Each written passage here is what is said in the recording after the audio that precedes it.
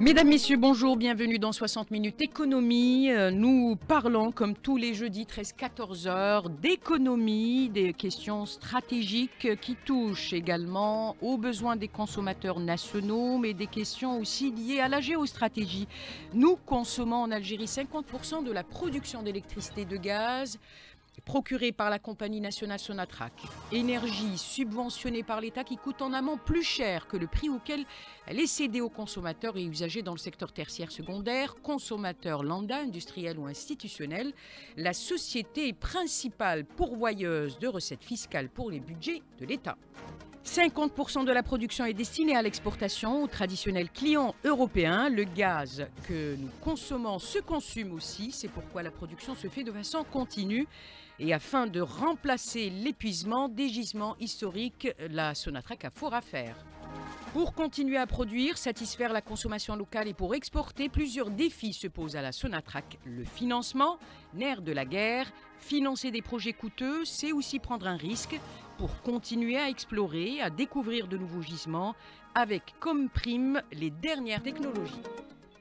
Pour extraire et décarboner, pour transformer le gaz, le transporter en national, en international, mais encore pour exploiter ces résidus et les réutiliser. En outre, le groupe Sonatrach est censé développer en parallèle un bouquet énergétique de sources propres, solaires, éoliens, biomasse, de l'hydrogène vert, pour réduire la consommation des énergies fossiles par les consommateurs nationaux.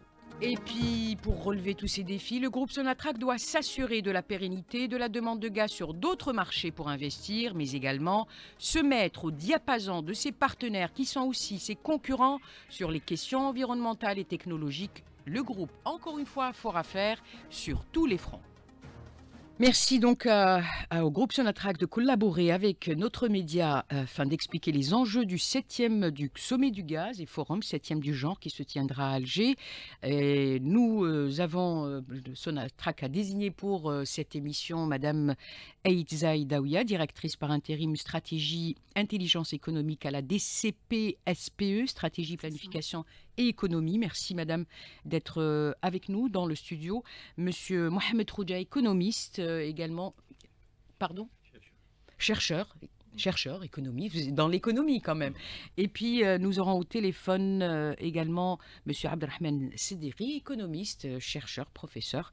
Merci beaucoup d'être présent à cette, à cette émission pour parler de manière euh, la plus simple possible, la plus claire possible euh, de, du gaz, de sa place euh, en national, de sa place sur les marchés internationaux, de l'effort qui est consenti par le groupe Sonatrach, pour continuer à garder une position sur les marchés internationaux.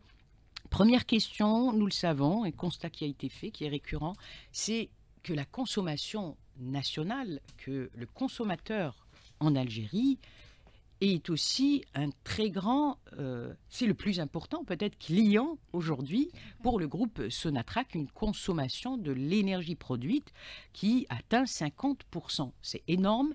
Sonatrach produit donc essentiellement pour le marché national, Madame Eidzai. Oui, merci, merci madame. Euh, bonjour et je vous remercie pour l'invitation. Euh, je dis bonjour aux, invités euh, sur le plateau et aussi aux, auditeurs de la chaîne 3. Oui, effectivement, euh, Sonatrach est fournisseur d'énergie primaire pour le marché national et aussi à l'exportation.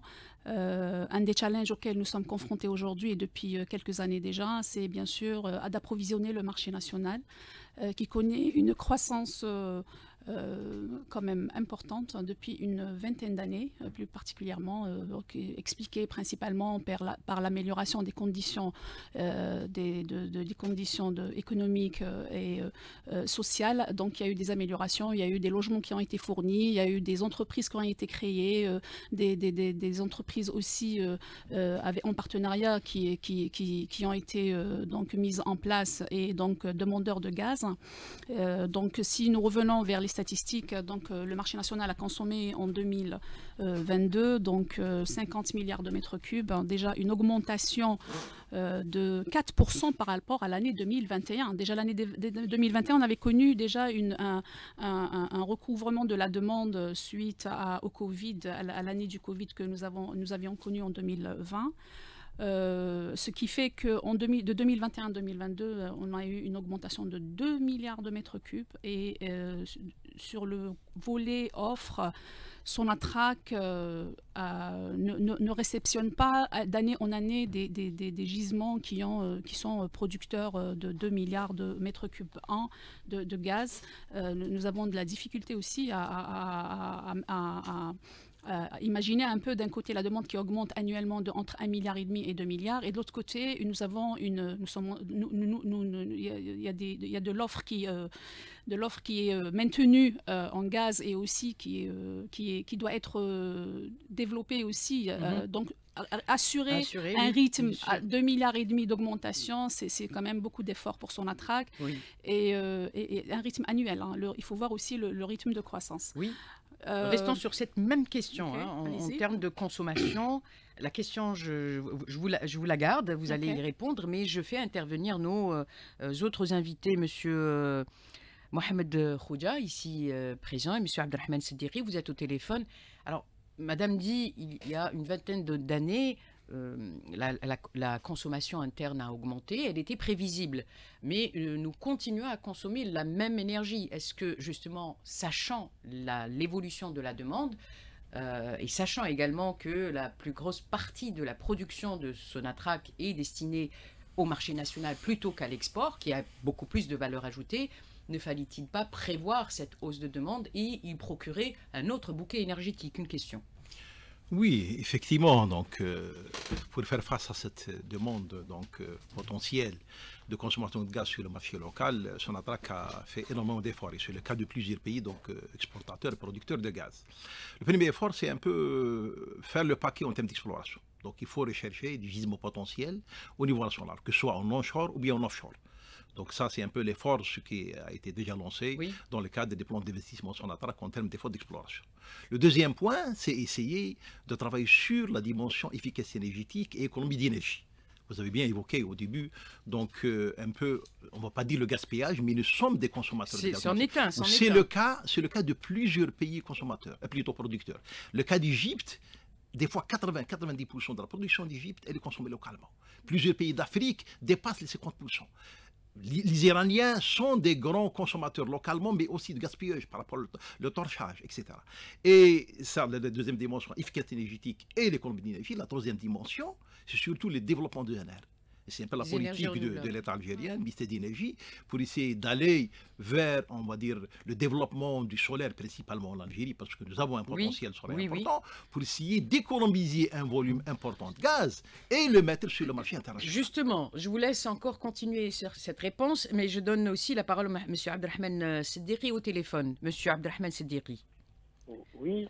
On revient sur la question, s'il vous plaît. Alors, sachant faire de la prévision, de l'anticipation, fallait-il, pouvait-on, euh, euh, il y a plus de 20 ans, euh, prévoir cette augmentation de la consommation, permettre au groupe Sonatrach de destiner une bonne partie à l'exportation, là où se trouve la, la, grande valeur ajoutée, et prévoir de compenser cette consommation énergétique des fossiles par un autre bouquet. C'est la question, elle est précise. Tout à fait. Donc euh, aujourd'hui, nous sommes donc face, euh, face à un constat où, bien sûr nous, nous enregistrons donc une, évolution, une, évolution donc de, de, la consommation d'énergie euh, en Algérie, chose que nous constatons depuis des, ans, des années, mhm. même bien sûr sur le plan euh, prévisionnelles, des solutions donc étaient euh, des solutions donc étaient initiées, notamment à travers le programme national d'efficacité énergétique et d'énergie renouvelable, ou peut-être l'intention euh, d'investir dans le programme 2011 et puis réévalué en 2015 L'Algérie a tardé à mettre au point en place ce bouquet. Donc il y, a, un retard dans, hmm. il y a un retard dans, dans, dans, la mise en place et dans le lancement des projets donc euh, de projets d'énergie renouvelable. Ce n'est que qu'à présent, bien sûr, qu'il y a réellement, donc, on ressent l'urgence et l'importance, bien sûr. C'est la raison pour laquelle, d'ailleurs, dans les 15 000 euh, mégawatts euh, donc, euh, inscrits, ils s'orientent, bien sûr, dans cette, dans cette problématique parce que réellement, nous avons un modèle de consommation d'énergie et énergétique qui, parfois, ne pouvons l'expliquer par des facteurs objectifs, mhm. et parfois, il y a également d'autres facteurs liés euh, bien sûr, euh, à, la situation liée à la gestion de la question énergie, euh, énergétique, liée à, la demande sociale. Donc, il y a des facteurs à la fois économiques, il y a à la, à la fois d'ordre social qui expliquent bien sûr cette réalité. Mais certainement, nous ne pouvons pas continuer parce que si nous continuons dans cette, dans cette tendance avec une hypothèse où il n'y a pas une accélération dans, dans, dans, à la fois dans le programme d'efficacité. Vous l'avez dit déjà, monsieur, vous l'avez dit. Le, message est passé. Nous allons. L'efficacité énergétique actuellement, donc c'est une ressource c'est une ressource importante, mais quand même, nous constatons qu'il y a euh, l'intention, il y a la volonté, bien sûr. Merci, vous l'avez dit plusieurs fois. On a écouté, on a écouté. Monsieur, monsieur restez avec nous, Madame Aïdzaï. Alors, euh, quel est justement c'est une problématique pour le groupe Sonatrach. Euh, d'abord, est, on est à quel taux de, raccordement pour rester dans, dans le national de raccordement au gaz, euh, au gaz principalement, qui est générateur d'électricité Voilà. Premièrement, et quels, quels, sont les secteurs les plus énergivores en national? Ce, qui, ce qui consomme énormément d'énergie, bien sûr, c'est le secteur résidentiel. Hein, et on sait que le résidentiel, c'est les ménages. donc, c'est un secteur quand même qui n'est pas, qui n'est pas euh, on va dire, créateur de valeur si on peut le voir comme ça. Euh, il y a aussi donc il y a aussi les centrales électriques hein, qui, prennent énormément. En fait, les centrales électriques euh, pompent, ont consommé 42% en 2022 de, la facture gaz naturel. Et, bien sûr, on sait que le, pour la génération électrique, le parc national d'électricité consomme consommerait près de 98% de, de, gaz justement pour générer de l'électricité. Donc pratiquement toute l'électricité qui est produite en Algérie euh, est, pour consommée, Et, oui, oui, est produite à partir du, gaz naturel justement. Euh, Sachant que le coût de, vente n'est pas celui le, le Tout à fait. Oui, bien sûr, les prix sont administrés, donc c'est des prix qui sont soutenus par l'État et bien sûr le coût de production est complètement est supérieur, est largement supérieur par rapport au, coût de, vente vers le consommateur. Étant justement dans ce service cette direction de planification, d'intelligence économique, de stratégie, euh, euh, le mot vous est également donné. Pour faire une comparaison du marché national, est-ce que tous les producteurs de gaz connus, reconnus, euh, euh, voient aussi leur consommation interne plus forte que leurs exportations, Madame Aïtzaï euh, Ça dépend. En fait, bien sûr, euh, l'entreprise doit d'abord, toute entreprise économique doit d'abord générer des profits, hein, si, alors quel que soit le marché, qu'il soit national ou international. Donc maintenant, assurer sur un marché une rentabilité et un profit ne, permettra, ne permettrait pas, plutôt permettrait un renforcement de, la position de la compagnie sur ce marché Donc elle, ça va, ça va l'inciter à, investir plus mhm. et à, accroître ce marché justement, vu qu'il est générateur euh, de, revenus, qu'il soit au niveau national ou au niveau international. Euh, bien sûr, en Algérie, les prix sont soutenus et on est classé parmi les prix les plus bas euh, dans le monde, que ce soit pour les produits pétroliers, que ce soit pour le gaz naturel. Même pour les plus importants producteurs ah, oui, même de gaz comme, oui, à fait. Oui, oui, oui. On a fait les, les, nos, pratiques, nos prix sont vraiment les, parmi les plus bas dans le monde euh, en comparaison. On va écouter nos deux euh, chercheurs, enseignants, économistes sur ces modèles. Comment se positionne l'Algérie en termes de, de consommation interne, hein, qui grève, qui, qui mm. grignote mm. sur des mm. parts d'exportation? Monsieur euh, Mohamed Khoudja et Monsieur Abdelrahman Sederi, vous aurez rapidement la parole. Oui, sur cette question. Les autres modèles de consommation des pays producteurs de gaz. Par rapport à la consommation, effectivement, donc la dimension sociale est là où les autorités Comparaison. La question, c'est sur la comparaison. Si on regarde les secteurs potentiels énergivores au niveau national, le plus grand consommateur, c'est l'industrie de la cimenterie et de la soudure. Les autres pays, s'il vous plaît. La question, c'est sur les autres par, pays. Par rapport aux autres pays, comme je l'ai mentionné, l'Égypte, le taux de consommation dépasse les 70 à 80% Ils sont même arrivés à importer du gaz pour le marché local. On se rappelle bien, ça fait quelques années, ils ont importé du propane et du butane d'Algérie pour essayer de faire face à la, demande. Euh, L'Iran ils sont consommateurs sur le marché national, mais aussi il y a un gaspillage par rapport au volume torché. Surtout, ce qui a été évoqué par le pouvoir iranien, c'est que la crise et l'embargo a fait que l'État iranien n'a pas la capacité d'utiliser des technologies et réduire cet impact de, de torchage et éventuellement des, des pertes d'émissions de CO2, plutôt de méthane, et par conséquent un effet sur, sur l'environnement de façon globale. Donc la dimension ce soit là, effectivement, le modèle, de, euh, le modèle économique fait que l'Algérie, c'est un consommateur et le taux, comme il a été mentionné, 50%, et peut-être qu'il va même augmenter si on regarde premièrement l'augmentation de la population, mhm. l'industrialisation du pays, mhm.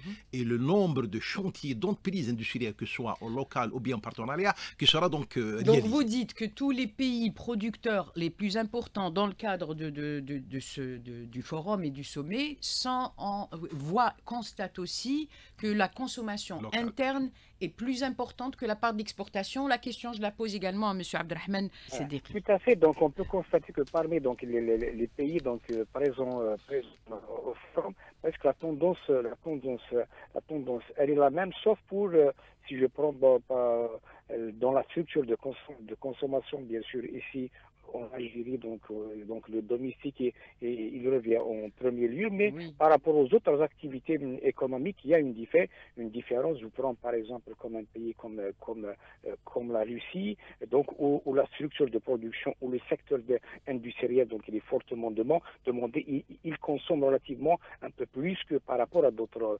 à, d'autres pays. Donc il y a la nature de l'activité, euh, la nature de l'activité économique. mais ce qui est important aussi, nous, avons une donnée importante à prendre en considération et c'est pratiquement donc euh, une donnée qui peut différencier d'un pays à un autre.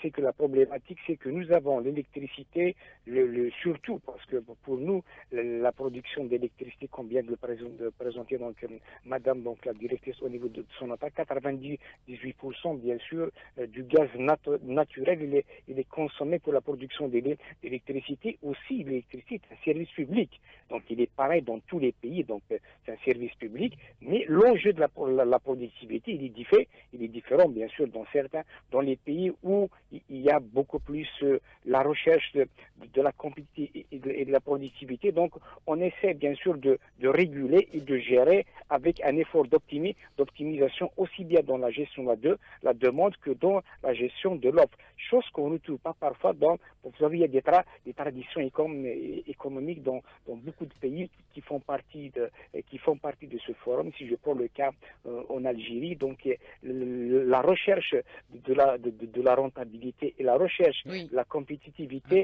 peut être dans certains cas aller au deuxième niveau par rapport à l'enjeu de service public.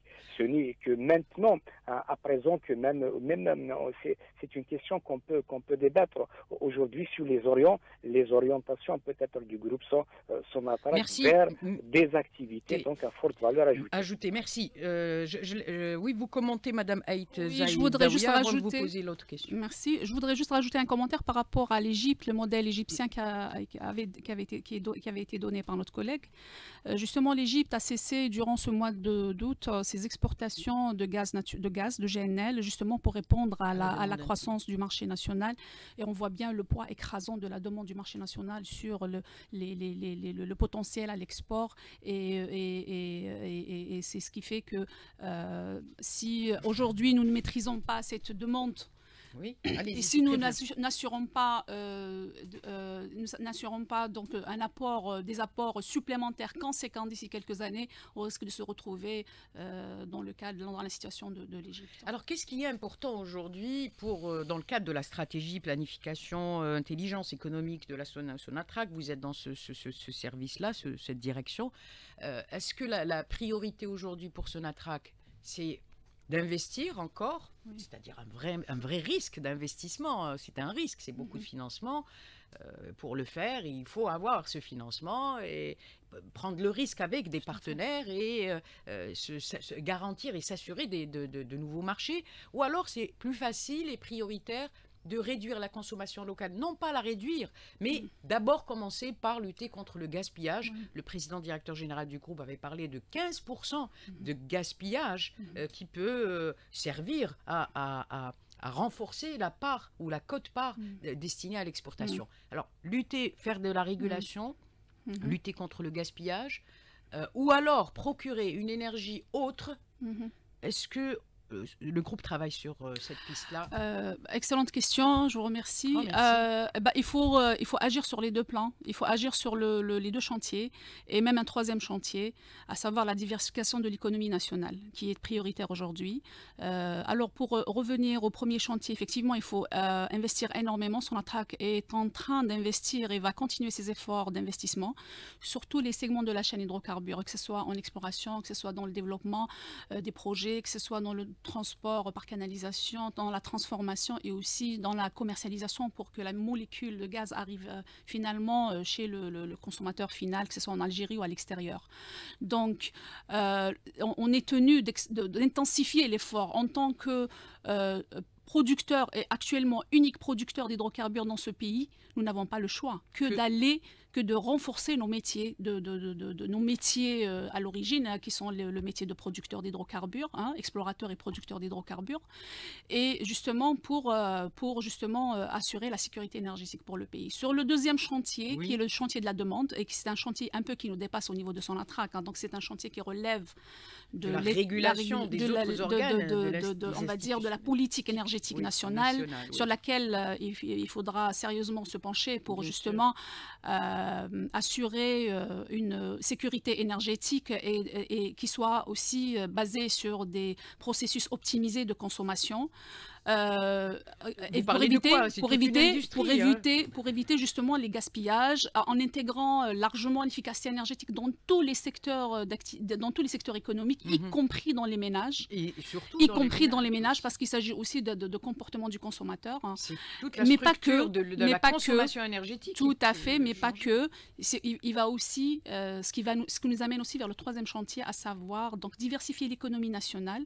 Pourquoi diversifier l'économie nationale? Pour soutenir euh, le, le sect- le- le secteur énergétique. Euh, Jusqu'à maintenant, le secteur énergétique a soutenu l'économie nationale. Maintenant, les autres secteurs doivent, euh, hein, doivent euh, se développer, exporter produire, exporter, pour permettre au secteur de l'énergie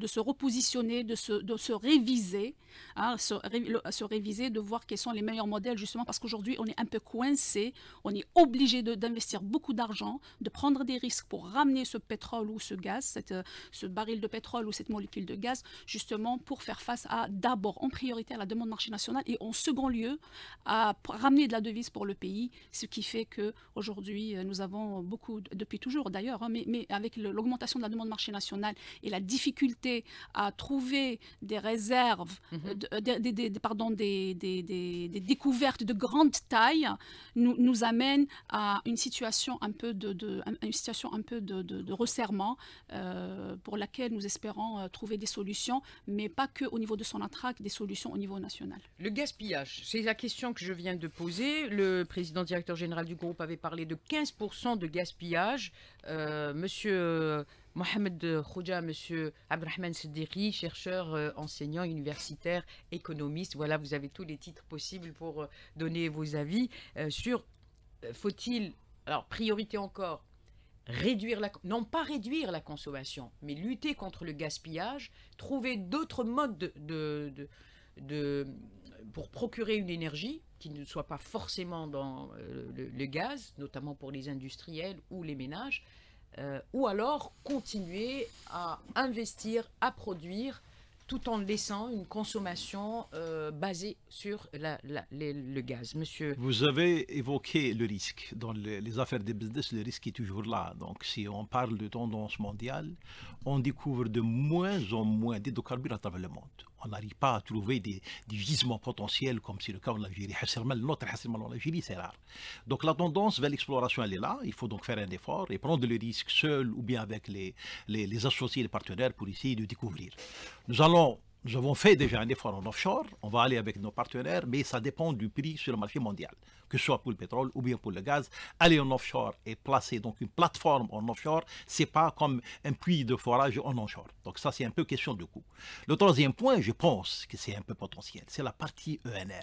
Nous sommes en retard. Nous sommes en retard, les ENR. Je parle du solaire, parce qu'en Algérie, le gros paquet, c'est le solaire. Nous avons du solaire, que ce soit chez nous ou bien en Afrique. Pour la il y a un potentiel national, hein, national, mais aussi pour essayer d'économiser un volume important de gaz à exporter pour ne pas rester toujours dans la dépendance énergétique du gaz, parce que si vous allez analyser la situation en termes de dessalement, nous allons encore consommer du gaz en dessalement. Si vous allez partir, tout ce qui est du minière, le développement d'énergie minière, nous demander aussi de Effectivement. Et par, conséquent, et par conséquent, la tendance mondiale en termes de découvertes donc on découvre de moins en moins à travers le monde de gisements potentiels, que ce soit des pétrole de gaz. L'idée d'aller vers les, énergies renouvelables et le solaire en Algérie, c'est une piste potentielle à prendre pour essayer de réduire, d'économiser. Certainement, c'est en complément par rapport au travail et l'effort en termes d'économie d'énergie, mais je pense que c'est une question de société. Il faut sensibiliser le citoyen algérien à consommer bien, à consommer équitable, parce que nous sommes des... C'est le même cas pour l'eau. L'eau, l'État subventionne l'eau, et on le vend à prix subventionné pour le consommateur alors que nous sommes en train de gaspiller. C'est le même cas pour le pain. Nous sommes en train d'importer du, du, blé tendre de l'extérieur et on exporte le péri dur, mais nous sommes en train de consommer de la baguette du pain chaque année. Et par conséquent, sensibiliser les citoyens pour faire des économies dans l'énergie, dans l'eau et dans son alimentation, c'est une question de société où il faut faire un effort énorme. D'accord, vous le dites, mais vous ne le dites pas comment? Je ne vais pas poser la question à monsieur, monsieur Abdelrahman euh, euh comment, comment lutter, à votre avis, où se situerait, à votre avis, le gaspillage? On a le, groupe parle de 15% de gaspillage. Où se situe-t-il et comment euh, remplacer la consommation interne euh, de, des énergies fossiles, de gaz, pour le destiner à l'exportation? Très bien. Donc, je, vais répondre d'abord donc en conciliant ces deux concepts, gaspillage et optimisation, mhm. parce que l'effort, euh, il, y a l'effort d'optimisation donc et, de gaspillage, mais nous allons le rechercher à deux niveaux, au niveau macroéconomique et au niveau microéconomique.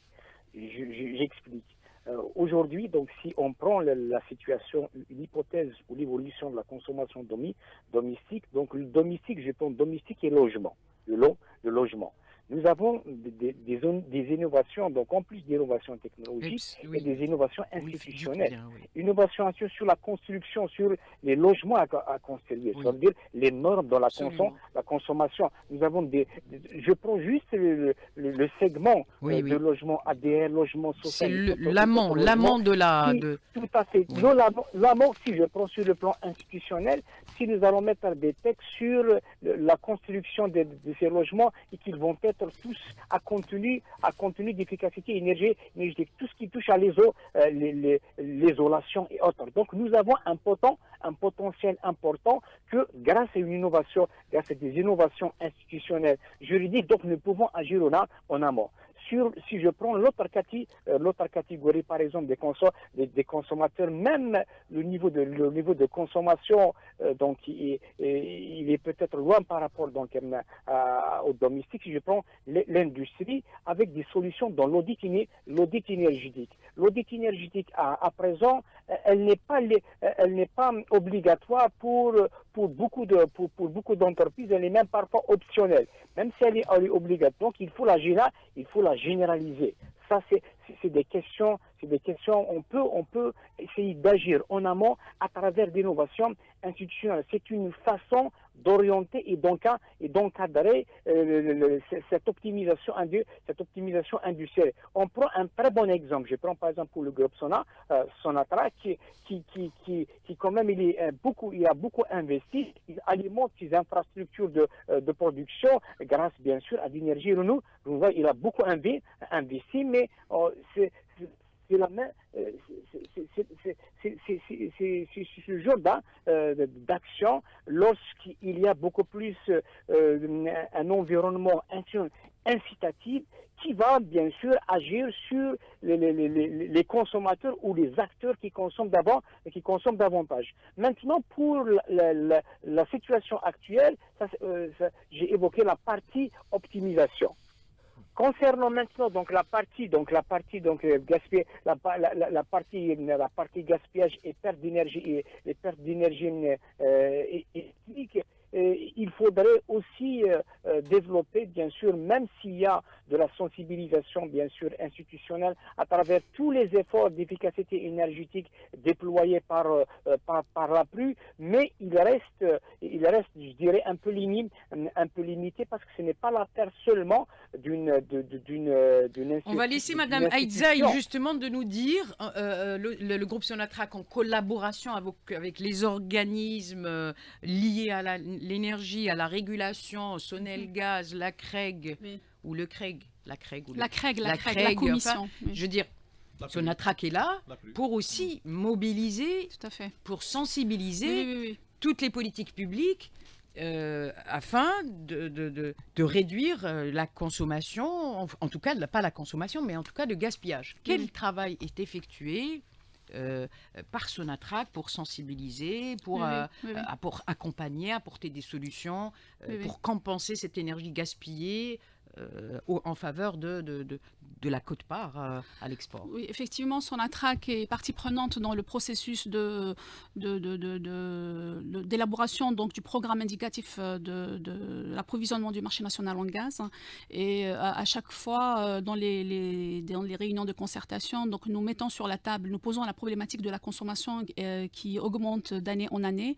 Donc, sur les dix dernières années, donc c'est une augmentation de, 4%, 4,5%, donc c'est beaucoup. Et sur 20 ans, c'est 5% c'est beaucoup.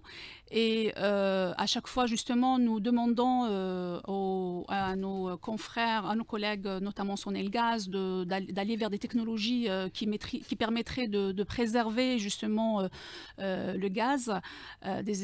et, sur, ce côté-là, donc effectivement, des efforts ont été faits par Sonelgaz à travers des programmes d'investissement pour dans le, cycle combiné, oui, oui, oui, dans les centrales électriques justement, ils, ils sont donc Aujourd'hui, la part de, de, la technologie cycle combiné est de 40, si je ne me trompe pas, plus de 40%, 42%. Donc, c'est des, des, cycles, c'est des, euh, des, technologies qui, euh, permet, qui consommeraient moins de gaz hein, pour produire plus d'électricité. Euh, aussi, ils ont investi dans tout ce qui est turbine à gaz et donc différents programmes ont été justement sont, ont été exécutés d'investissement et aussi sont en cours d'exécution. Euh, Qu'est-ce qu'on pourrait dire aussi Donc, euh, oui, effectivement, nous sensibilisons à, régulièrement. Euh, Quels sont les organismes qui ont ce pouvoir, en fait, d'agir sur la consommation interne? C'est le ministère de l'énergie, bien. le ministère de l'énergie à travers la politique nationale énergétique. Hein. donc, c'est le, premier qui, qui, est concerné. Et bien sûr, la politique ne devrait pas être. C'est une politique qui doit, doit être élaborée avec les, tous les ministères. Hein. Donc, c'est une. tous les ministères qui sont. Enfin, tous les ministères, l'habitat, l'industrie, l'intérieur, euh, euh, l'agriculture, ils sont tous partie prenante parce que tout simplement, ils sont tous consommateurs de gaz et donc ils ont tous un rôle à jouer dans le, la, maîtrise de l'énergie euh, à travers donc. donc la première solution, c'est le c'est l'investissement dans les centrales euh, euh, Non, ça c'est une des solutions qui sont déjà mises en place. Euh, qui sont déjà mises en place, oui, mais oui, effectivement. Donc on va aller vers le quatrième chantier. Tout à l'heure on avait ces trois chantiers et là le quatrième chantier c'est d'aller vers la diversification du mix électrique. C'est-à-dire aujourd'hui, donc à travers le monde, on va vers la généralisation de l'utilisation de l'électricité dans tous les usages.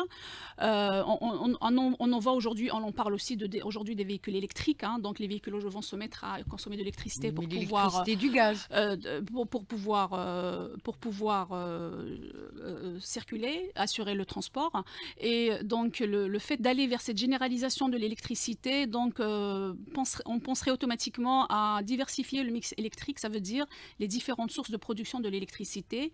Donc, l'Algérie doit travailler énormément sur, sur cet aspect-là, donc à travers notamment l'intégration, la forte intégration des énergies, des énergies renouvelables, notamment le photovoltaïque. Nous avons un très grand pays pays qui a une, un potentiel solaire très très important. Donc, justement, Quelles sont les installations actuelles? Oui. Euh, photovoltaïque en Algérie euh, Alors aujourd'hui, nous avons une capacité de. Aujourd'hui, nous avons une capacité à peu près de 300. Aujourd'hui, nous avons une capacité de 380 mégawatts. C'est très peu. C'est vraiment très minime. On avait fait des efforts. La première centrale hybride est rentrée à Hessermel en 2011. Puis, euh, bon, c'est des petites centrales. C'est pas de. Qui Donc, qui, qui, sont qui sont alimentées à partir du module de Hessermel, hein, principalement pour le gaz et une partie, bien sûr, à partir de CSP. Mhm. CSP, donc là, c'est le solaire concentré. C'est hybride, oui, oui. Donc il bascule la journée, donc il, il prend du soleil et le soir, donc il. Il servent quel euh, donc consommateur Donc directement, il, il, il, il, desserve sur le, le, le, le, réseau, le réseau. Euh, ah oui, injecté dans le réseau. On a aussi. Après, on ne connaît pas euh, finalement la, quelle est la part. C'est très minime, c'est très minime. Alors les renouvelables ont une part euh, il ne dépasse pas, c'est autour de 1%, 2% dans le, mix électrique national. Euh, nous avons aussi, donc, au niveau de son mis en, en service donc, euh, une centrale photovoltaïque de 10 MW, c'est très, c'est une petite capacité au niveau de BRN, hein, avec le partenaire Eni. Et une deuxième est en cours de, de, construction mhm. de, la même capacité. Euh, on, s'achemine au niveau de son intrac vers une solarisation des sites de production. Bon, c'est vrai que euh, éventuellement en raison des coûts, en raison de, différents aspects. Donc, donc actuellement, nous, ne sommes pas à, nous n'avons pas encore atteint la vitesse de croisière que nous aurions euh, aimé atteindre. Euh, voilà. Sur le marché national, au niveau national, donc c'est Sonalgaz aujourd'hui qui est euh, chargé de, donc de, de, de, développer les capacités ENR. Mais juste pour dire aussi que il, serait bien d'aller vers un modèle énergétique où, on, inciterait notamment les privés à, aller à investir dans les ENR, hein, comme ça se fait au niveau des pays, notamment européens, en Espagne, au Portugal, etc. Donc c'est les privés un peu qui portent cette industrie et, mais je pense que ce serait bien de se pencher sur ça et, et ne pas laisser uniquement les, grands. C'est vrai que le, le, le, le, le coût est, là, mais après, on peut toujours commencer par des petites capacités, ensuite construire tout un réseau de petites capacités qui va avoir euh, son, son, poids sur euh, le, mix national. Merci. Alors, deuxième partie, on va dire, de, de, de notre thématique, on parlait de du nerf de la guerre, qui est l'investissement, qui est l'argent, mettre de l'argent pour explorer, mettre de l'argent pour, mhm. euh, pour exploiter, mettre de l'argent pour euh, transformer, mettre de l'argent pour transporter mhm. et mettre de l'argent dans les technologies de décarbonation, qui est mhm. devenue une condition sine qua non à l'exportation même, et à la reconnaissance d'un gaz qui provient d'une économie décarbonisé qui fait l'effort de procurer une énergie aussi bien interne propre qu'à euh, l'exportation qui est propre. Je, fais un petit, euh, je reviens à nos invités et euh, on, passe à vous, Madame Aïzaïd, pour dire un peu quelle est la vision ou la stratégie de Sonatrach en matière d'investissement. Alors, il est reconnu que les gisements en gaz en Algérie, puisque le, pays est un pays plus reconnu comme étant un pays gazier, euh, que pétrolier, euh, l'Algérie travaille sur des anciens gisements dans Hassim Saoud, Hassirmel, si je ne m'abuse. Euh, il, faut, il y a eu énormément de découvertes, semble-t-il, ces dernières années, à 12, je, pense, à 15, à 15 découvertes, petites ou grandes. Euh, je ne sais pas si les, gisements ont, donné leur dernier mot à, ce sujet, mais on trouve des gisements, il faut de l'argent, il faut de l'investissement, mais il faut garantir des marchés aussi pour pouvoir mettre cet argent dans l'exploitation. Et pour mettre cet argent, il faut trouver des financements. Donc, où, où Sonatrach va-t-elle trouver ce financement? Quel risque elle va prendre de travailler sur des gisements qui, euh, les spécialistes et tout le monde le dit, prennent 10 ans et garantir, garantir les marchés d'achat. Monsieur. Euh, Moi, si vous permettez, je vais, je vais combiner l'argent, de la guerre. Oui, oui, non, non, non, non c'est intéressant, mais surtout par rapport, euh, le, effectivement, les finances, c'est une composante importante, de, surtout dans le domaine donc, industriel et pétrolier principalement, mais aussi la question de temps. Parce que de temps en temps, euh, on peut donc planifier des projets industriels d'envergure, de, mais on tarde de réaliser. C'est un peu le cas du solaire en Algérie. 2013, qu'un grand projet a été lancé par l'État algérien, par le ministère, mais que nous n'avons pas réalisé à temps.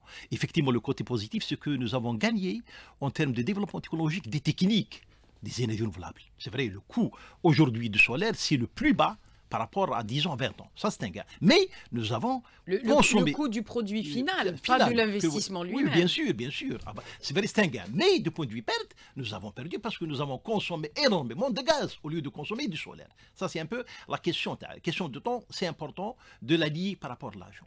La deuxième euh, chose qui est importante, c'est que nos, les découvertes récentes ne sont pas de grande taille, mais l'effort d'exploration en partenariat à l'extérieur c'est un effort qui a été fait par son attaque depuis des années, rechercher des découvertes en dehors de l'Algérie, c'est le cas qui a été déjà euh, l'expérience en Irak, au Soudan, au Mali, au Niger, au Tchad, éventuellement ailleurs. Ça, c'est un peu peut-être une piste potentielle, surtout que nous avons donc une percée intéressante et, euh, dans la dimension africaine. L'Algérie se positionne en Afrique via son réseau, via sa diplomatie, donc euh, un peu. C'est une façon de maîtriser les risques. Hein. Effectivement, les risques et avoir d'autres potentiels.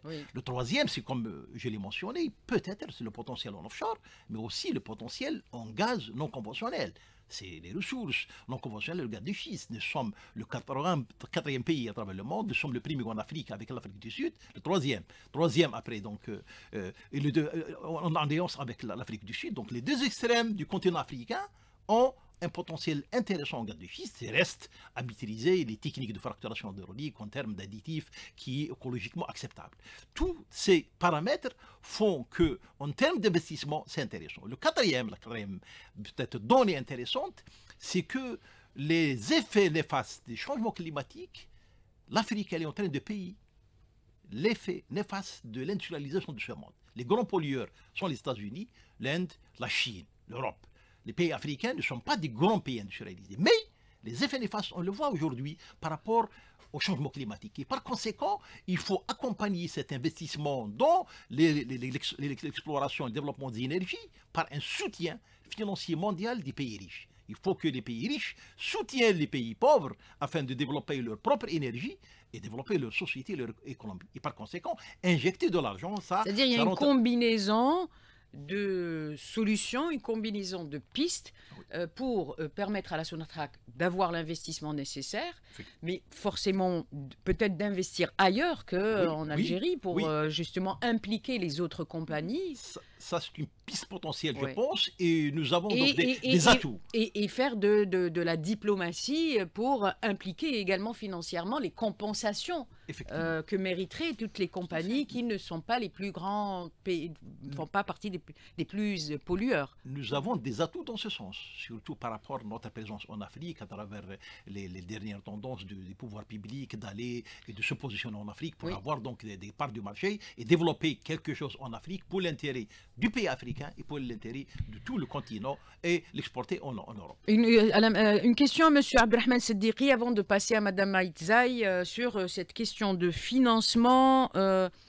Euh, de financement, de capacité de financement, de prise de risque de financement et de garantie des marchés à cet investissement lourd euh, d'exploitation, d'exploration euh, et de production de gaz, Monsieur Abraham Tout à fait, tout à fait. Vous savez, donc, donc je ne vais pas donc rebondir, donc je vais pas peut-être euh, les, donc il y a beaucoup de questions qui ont été présentées par Madame et par euh, Monsieur Khouja, mais je vais ajouter une autre dimension importante dans le financement. Cela veut dire c'est le partenariat, c'est le partenariat, parce que euh, aussi donc il y a il y a beaucoup d'opportunités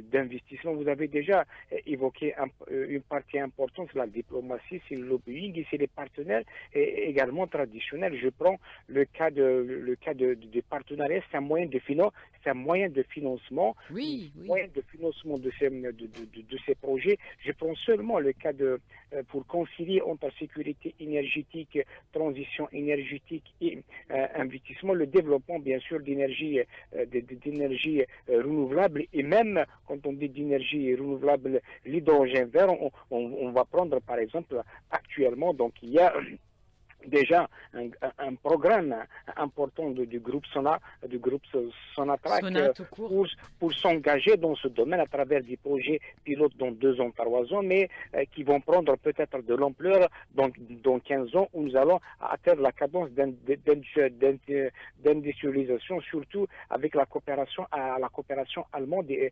autres pays. Nous allons prendre également un volet important dans, euh, dans, dans, dans le financement qui, mais qui doit être recherché à travers ces forums. Parfois, parfois une pression ou là, une pression là, une entente sur sur les modalités de fixation de prix sur le euh, sur le marché peut produire euh, des, effets sur le rythme euh, sur le rythme sur le rythme d'investissement.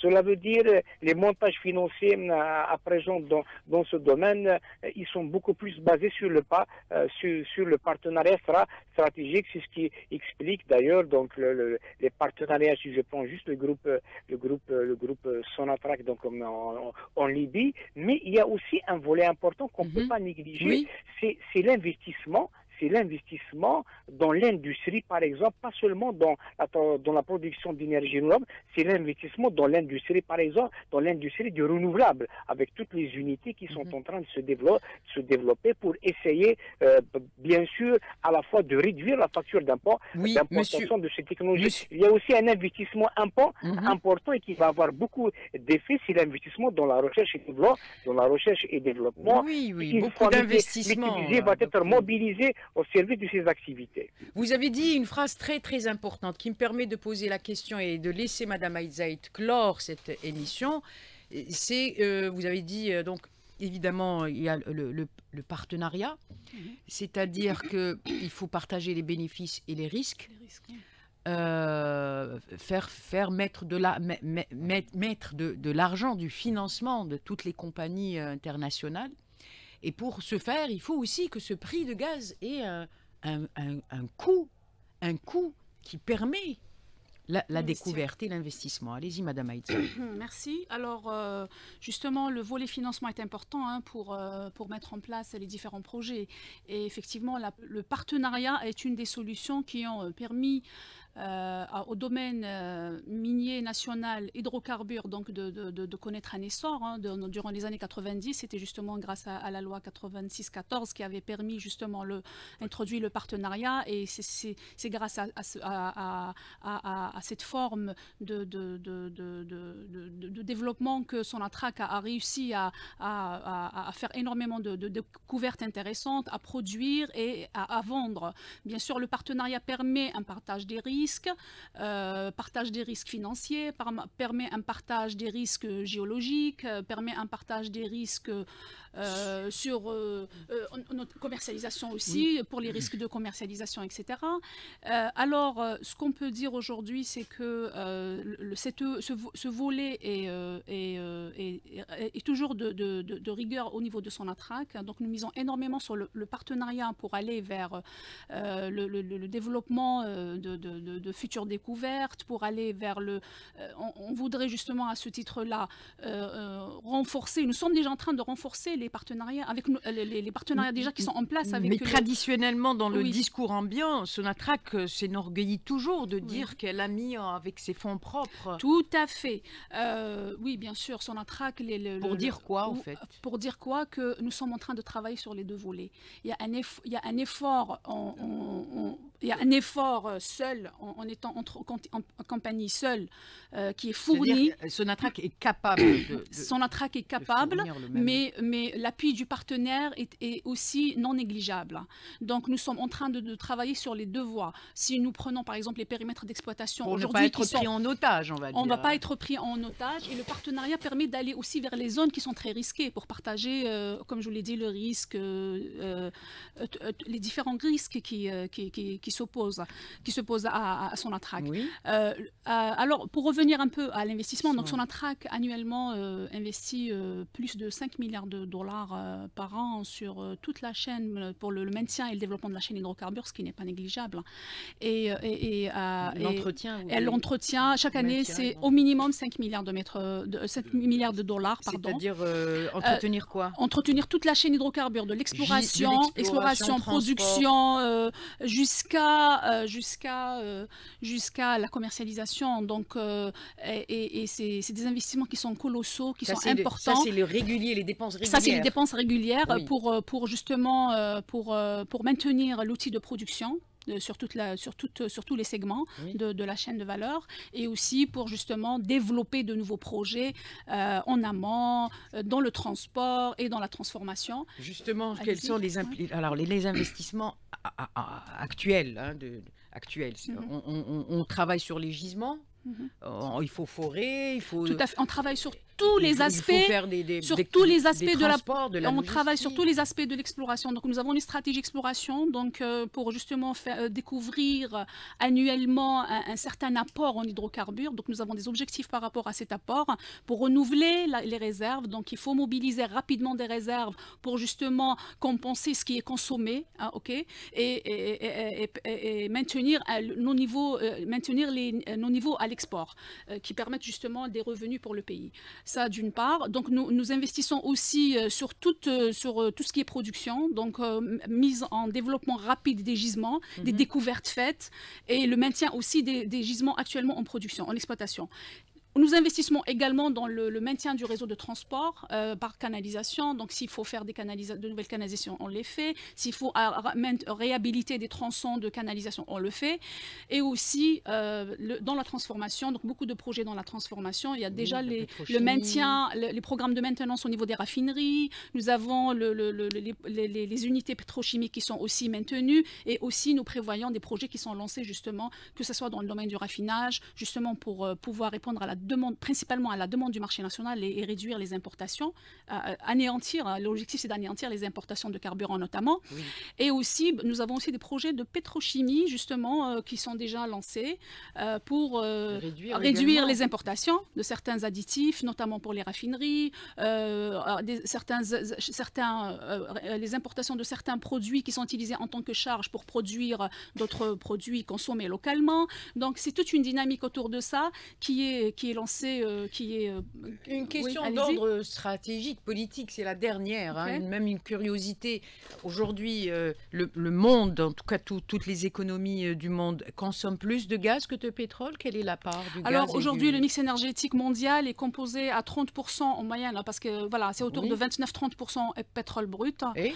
Nous, avons, nous avons pour le gaz une part de 23% mhm. et le charbon une part de 27%. D'ici quelques... À l'horizon 2050, compte les prévisions pour le scénario de référence, business as usual, donc on s'achemine vers euh, euh, euh, une réduction donc, de la part du pétrole, donc des énergies fossiles. GECF prévoit pour le, le, gaz une augmentation à 26% quand même. Quand même. Ça passe de 23 à 26% à l'horizon 2050. Et lorsque le gaz est très demandé, alors là, comment agir sur les prix? Une question. Alors les prix, revaloriser le, prix, d'un gaz plus propre. Euh. Euh, alors le prix, euh, alors le prix dans un marché libre. Ça ah, peut être une. Oh, non, c'est une équation. Non, non, c'est une équation offre-demande et puis des fois il y a d'autres aspects, notamment les aspects de stockage qui peuvent intervenir, interférer sur le prix. La donnée la plus intéressante en termes de coût de prix de, gaz et surtout par rapport à l'effet, la tendance c'est que nous, nous, allons consommer encore beaucoup de gaz. Le mix, le gaz est toujours un vecteur important. C'est l'élimination des effets négatifs négatif. L'effet négatif surtout, c'est la séquestration de CO2. Ce sera si on arrive à le faire, la prochaine émission. on va parler de cet aspect de décarbonisation, décarbonation, comme vous le souhaitez, mesdames, messieurs. Merci. A été avec nous Madame Aïdzaï Daouia, directrice par intérim stratégie et intelligence économique à la DCPSPE, stratégie, planification et économie, Monsieur Mohamed Rouja. Mohamed Rouja, euh, enseignant, chercheur, et Monsieur Abdelrahman Sideri, économiste également. Merci, à bientôt. Merci à Aïcha Hammer et à toute l'équipe à la régie.